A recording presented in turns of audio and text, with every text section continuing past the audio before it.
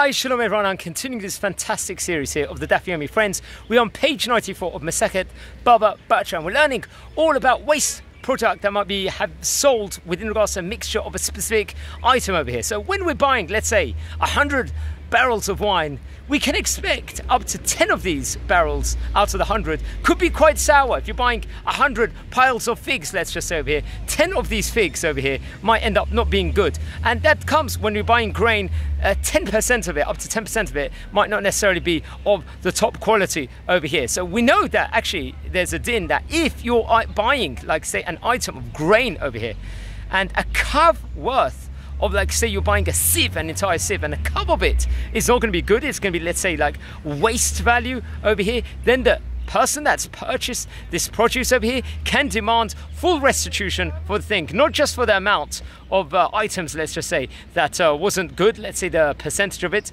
but he can actually ask for total restitute of the total amount over here when it's going to be such an enormous sum. So the, the Torah does a sit, they treat it very seriously. But when you're buying something, always, it's not going to be the best produce. 10% of it might not always be perfect. When you're buying fruit, for example, always not all of it is going to be perfect. You might have a rotten apple among many, but once it becomes more than 10% of it, it's a majority, let's just say, it's of uh, that specific amount, and the person can ask for full restitution over here.